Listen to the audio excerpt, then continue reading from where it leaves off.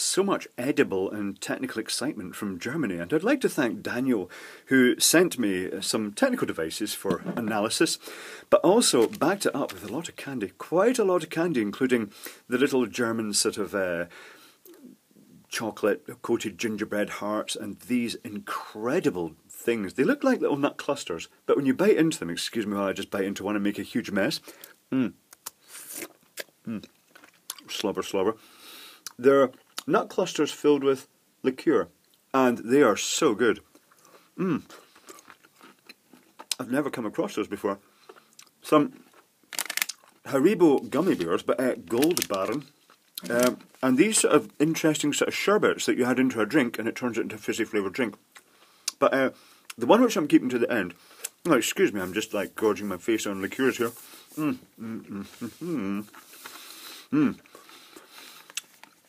is this Ashens worthy moment. I'm going to have to save this to the end of this video, and we're going to have to try it together because uh, this is currywurst mit Pommes, and it's clearly intended to emulate a, a curry sausage with presumably the curry sauce over chips because mit Pommes, the Pommes is a, a French word for apple, but also it means apple of the earth, which means potato, which is odd because. Uh, you keep coming across the word pomme for potato. Uh, I think it originates back to being a French word, but these are actually made of marzipan, Edel marzipan, if that's pronounced correctly. And I don't know if they're going to be curry flavoured or not, but the only way to find out is to actually eat them, so that's going to be saved to the end of this video. In the meantime, let's get the technical stuff in progress.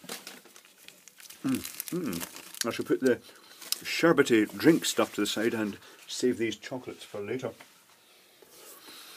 So this uh, device is, and this is where I'm going to pronounce it really badly, Einschaltoptimierung für Großverbraucher. And I've uh, put that into Google Translate and it basically says optimization for large consumption. And from what I can make out, this is designed to plug nuisance appliances into appliances that draw a huge spike of current at turn on. You see, if I bring my notepad in here, when you've got motorised appliances or switch on power supplies or stuff like that, quite often you turn them on, even tungsten lamps do this the same thing. What happens you turn them on, instead of the current just going and just being a nice steady current, it actually does this huge spike initially as in the case of motors it's the uh, magnetic field being set up, uh, if it switches on, particularly at a bad position, the sine wave, it can result in virtually effectively a dead short uh, appearance in inductive loads. And likewise, if you're if you've got a capacitor, it'll if the capacitor is fully discharged, you'll get a huge spike. So the current will just spike up and then go like that, and then it'll be the normal running current. And uh, this device is possibly designed to prevent against that.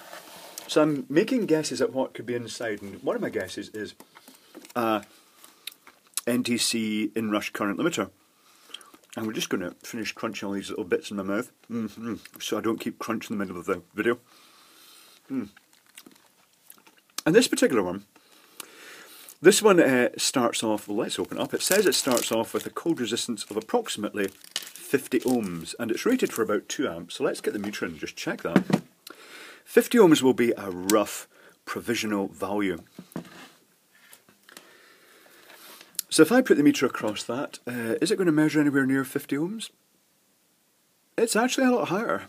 Uh, then again, this house is pretty cold. So uh, 90 ohms. So uh, on 240 volts, that would limit it to about, say, uh, a third of, let's see, uh, the peak current could be 240 divided by about 90 ohms. It'd be about 3 amps initially. It would, you know, it, it would really limit that. And what actually happens is that uh, once the it starts conducting current, this resistor heats up and its resistance then lowers down. So, because otherwise it would just get very hot at that resistance.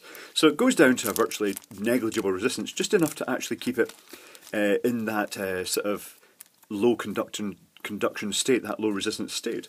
So, very simple way of just clipping the the spikes. And quite often you'll find these, I'm looking around to see if I can find a power supply, I'm not really seeing a power supply straight away. Quite often you'll find them in uh, the larger switch mode power supplies, the drivers for lights, because uh, they have that fairly large capacitor at the at the start of the power supply. It basically means it goes in through a rectifier and then charges that capacitor. And this takes away that spike, which means if you've got lots and lots of lights in a circuit, you're not going to end up with such a high spike that takes out the breaker. So, um, right, so let's open this and see what's inside. Now we've had a little guess. So let's get a screwdriver that's suitable for this. Rake through my screwdrivers here. There's a rogue battery finding its way in. Oh, that's not going to reach. I may have to hunt for another screwdriver that's going to fit down that. So the question is, I do see a little uh, red LED indicator. Is this going to contain more circuitry? Have I guessed its actual function correctly? Uh, see if I can find a little screwdriver that is actually going to take that screw out. Uh, that one isn't. Longer reach screwdriver, this should do it.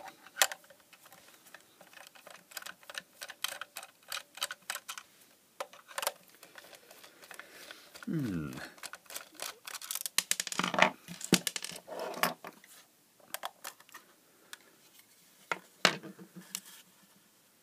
Oh, I'm actually seeing a big sooty skid mark.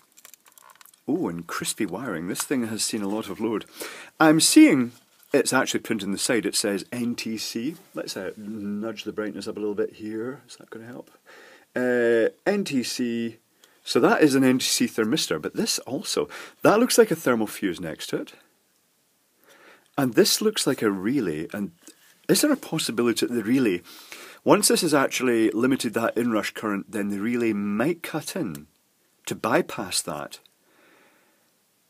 Um, why is that all black and sooty in there? Can you see that? It's all black and sooty up there. And this this wire has that sort of rigid feel to it. That, uh, there's also a blob of stuff. What is that blob of stuff? Where's my pliers? Let's uh, poke that blob of stuff. I can't find my pliers. I'm very organised today. I've been shuffling everything around here. Uh, these pliers are far too big. Okay, right, let's just prise at it with a screwdriver then. So there's a, a blob of glue. Oh, yeah, it's glue, and it's over the screw, but the screw's also got some sort of sealer over it. I wonder if that... I'm not really sure. Right, let's uh, pop this circuit board out. Let's break those little seals if we can and see what's in the back. It's got a lot of capacitors. That would maybe suggest timing circuits. Maybe it is designed to detect, uh, you know, just basically use the, the NTC thermistor at power up. It's got a chip. Ooh, it's very, it's very, yeah, it's very sooty. It's been seeing a lot of heat. I wonder if this link here is actually a current sense link. It could be. Certainly it's got big beefy solder joints on it. Oh, and it's got uh, the, the track is split across to that. Yeah, I think that's for sensing. Uh, the NTC thermistor has thermofuse The NTC thermistor has the in series with it. It's possibly designed as a sort of last resort. And then the relay contacts are bypassing that. So the relay, when the relay is powered, it is going to uh, yeah, it's going to bypass the PTC, the NTC thermistor. So there's a good chance that, you know, when it sees, I guess that makes sense because if this was something like a washing machine or something with a pulse load where the, the motor starts and stops all the time, then you could have the situation that uh, if you just left this on all the time, it would do its job once and that would be it. And the, even though the uh, washing machine or whatever had turned the motor off and was about to start it again, other loads like a heating element might actually stop this from detecting, uh, you know, from resetting. It would still stay warm even with a low load. Um, even just the control circuits in the washing machine. So maybe the point of the relay is that once it's done its job and the relay bypasses it, it then lets this cool back down again into a, a state that it can uh, protect again. And if it detects another surge, then it might the relay might open again just to allow that to kick in and do its limitation. So the rest of the circuitry is based around a little 8 pin chip. I have a sneaky feeling it's going to be a more normal 8 pin chip. It's an LM358, it's an op amp. And that is almost certainly designed to detect transients. It's designed to detect sort of sudden high current switching. I see it coupled via a capacitor from this a sense uh, resistor, if you will, this inline resistor here. So that is possibly de designed to detect sudden high peak changes of current and then kick the relay out and let that uh, clip the current. It's quite interesting. The rest of the circuitry, we've got a row of, low, a row of resistors here, uh, and they're across, they're 330k, 334, 33 and 4 zeros, and they're across this capacitor, which is almost certainly a capacitive dropper, and has the value of 100 nano by the look of it. I would guess that it then. Uh, is there a Zener? I can see a little diode down there. Oh, uh, is that a Zener? No, I'm not really sure. Uh, there's going to have to be something to clip it. Possibly this diode down here is clipping it. That would make sense uh, just to keep the voltage from going too high.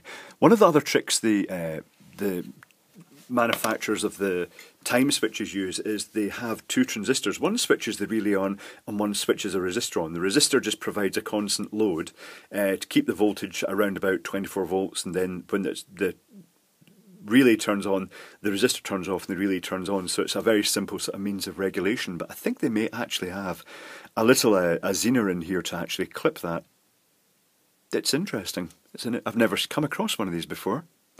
I shall probably explore it a little bit further later on. Uh, I wonder why it's all gooey. Yeah, that's a bit. It does feel the the feel of the wires are such that it does feel like it's been subjected to quite a high load. Right, on with the serious stuff. Do we investigate this currywurst? I think we do. I'm intrigued to see if there is curry flavouring involved. So let's try a bit of the sausage, the wurst itself. Or do I try a chip first? Let's try a marzipan chip. Mm -hmm.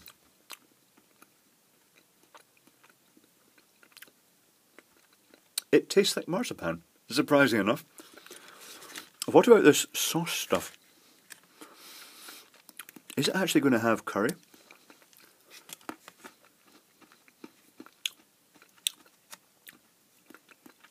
That is a sort of, it's just a sweet, sugary, almost like an icing. I do see some sprinkling over the top of that of something else. Mm.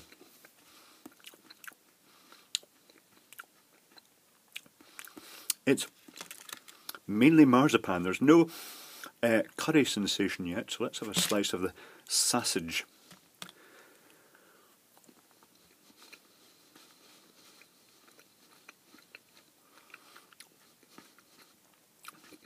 No curry. It just tastes like good quality marzipan. So the whole thing is basically themed marzipan, but in the style of chips and sausage with curry sauce. Hmm. I shall be enjoying this later. So yes, uh, all very interesting stuff. I wonder, uh, it does make me wonder that if you got a machine or a washing machine or something that's tripping the breaker like that, here in the UK, we have different types of breakers. We have um, type, uh, the, well, the most common, it's very rare to get a type A breaker. You get a type B breaker, a type C breaker, and a type D breaker. And the most of the ones in residences are, are type B. And the, the letter, the designation, indicates the instant tripping current, much like the nuisance tripping current, so to speak, of an inrush. And typically, um, if a breaker is rated, say, 10 amps, and you've got a type B breaker, then you've got two mechanisms for protecting against the overload. You've got the thermal mechanism in the breaker. I should take a breaker apart one day. And that detects a slow creeping overload. Say, for instance, you've got a 10 amp breaker and you overload it by 12, 13, 14 amps. It won't trip instantly. It will actually just heat up very slowly inside and there'll be a time delay and then it'll trip. If you have a dead short circuit or a really high uh, fault current, then it's got a magnetic trip that reacts instantly. But The B, C, and D designations indicate, in the case of B, it's five times the rated current, so it would be about 50 amps would be required to trip a 10 amp breaker instantly. For high inrush loads like, say, motors and things like that, we're more likely to use a type uh, C breaker, which has a multiplier of about 10. So for 10 amps, it would have to be a 100 amp spike to actually cause it to trip instantly. And the D-type designation is it's industrial. It's really intended for things like welders, and it's something like 20 amp, uh, should I say 20 times multiplier, and uh, that means that you'd have to, for a 10 amp breaker, it would have to be an inrush, a fault current of about 200 amps before it tripped instantly. But I do know that in other countries, their their houses are just because of the way electrical systems have evolved. They sometimes aren't really geared up to really massive loads. Um, in the UK, we have about 100 amps, single phase, 240 volts. It'll actually give us a lot of power in the house. But in other countries, you only have like 32 amps or something for the whole house. And in those instances, you can get situations that are high loads. You have to make decisions beforehand which appliances you're going to use. And the high loads like big washing washing machines, tumble dryers, things like that, could possibly cause problems by you know the inrush current to them uh, just pushing things over the edge. And I guess that's where something like this would come in handy, where you know a machine was causing that nuisance tripping, and simply by plugging this in line between uh, the wall and the machine, this got rid of that problem by introducing that uh, that sort of current limiting facility every time there was that surge. So it's kind of interesting. It must ultimately the massive capacitors. It must just be an analog algorithm they've come up with to detect a specific level of current transient before it makes a decision of whether it's going to cut the relay out and kick this uh, NTC thermistor back in. And uh, the thermistor will get hot in normal operation. I guess this uh, thermal fuse here, I'm guessing it's a thermal fuse, would have the double function. Since it's next to the relay, it would also detect when the relay had was having problems with the contacts and burning up a little bit. It's 110 degrees Celsius. Yeah, it's a thermal fuse. And it would then break the circuit uh, and uh, kill the load. So, uh, yep, it's pretty interesting. It's pretty interesting indeed. I've never seen one of these before.